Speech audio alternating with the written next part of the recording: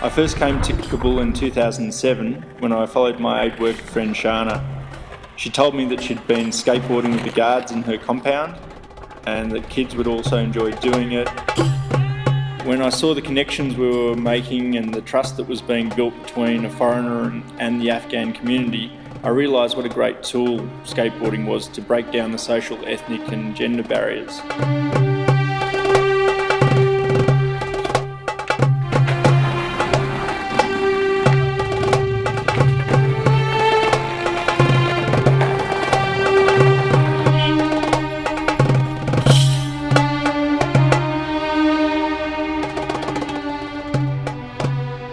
Certain people have told me not to actually skateboard with any of the poor kids and I was like that's absolute rubbish. I mean this is the exact reason that I'm here. I'm not here to provide skateboards to the most privileged Afghans, it's more the other way around.